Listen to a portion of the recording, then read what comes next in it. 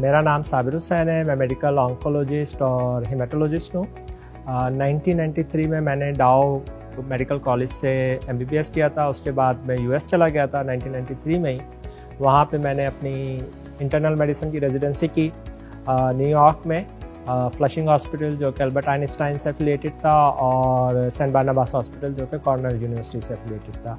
उसके बाद मैंने स्टेट यूनिवर्सिटी ऑफ़ न्यूयॉर्क से अपनी फेलोशिप कंप्लीट की। मैंने इंटरनल मेडिसिन का अमेरिकन बोर्ड हिमेटोलॉजी और ऑन्कोलॉजी का बोर्ड करने के बाद मैं कनाडा चला गया। वहाँ पे सेवन ईयर्स मैंने as a director of medical oncology एक रीजनल हॉस्पिटल में परफॉर्म किया। कनाडा से मैं सऊदी अरब चला गया। नेशनल गार्ड हॉस्पिटल में वहाँ पे एक साल एज ए कंसल्टेंट काम किया और पिछले तेरह साल से मैं यूएई e में तवाम हॉस्पिटल में, जो कि बिगेस्ट कैंसर सेंटर है यूएई e का, वहाँ पे पिछले तेरह साल से as a consultant oncologist and haematologist काम कर रहा हूँ।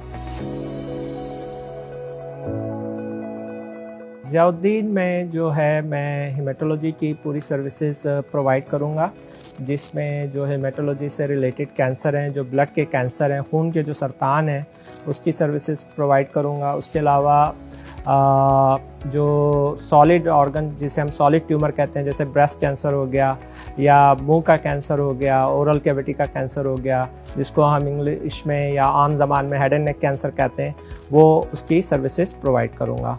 बाकी भी जो भी कैंसर्स हैं या ब्लड से रिलेटेड डिसऑर्डर हैं, उनकी कंप्लीट जो है सर्विसेज़ हम यहाँ पे प्रोवाइड करेंगे।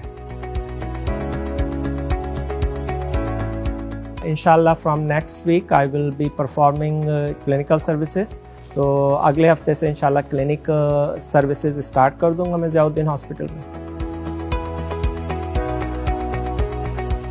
तो डिपेंड करता है कि कौन सा डिसऑर्डर है। ब्लड डिसऑर्डर जो होते हैं बहुत से डिसऑर्डर बेनाइन होते हैं जो कि कैंसर नहीं होते। जैसे अनीमिया है अनीमिया में पेशेंट वीकनेस महसूस करते हैं आ, वो पेल हो जाते हैं और उसके अलावा थर्मोसाइटोपिनिया जिसमें प्लेटलेट कम हो जाती हैं उसमें पेशेंट को ब्लीडिंग होती है गम से ब्लीडिंग होती है नोज़ से ब्लीडिंग होती है।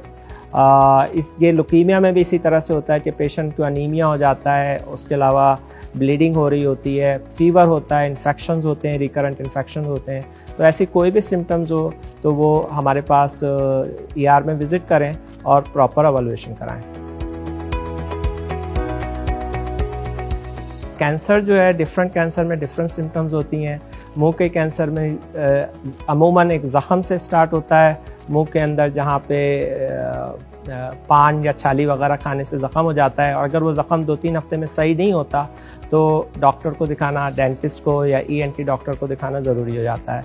जो दूसरा मोस्ट कॉमन कैंसर है, जो फीमेल्स में ब्रेस्ट कैंसर है, अमूमन एक गिल्टी या लम की सूरत में जो है वो महसूस होता है और अमूमन उसमें दर्द नहीं होता।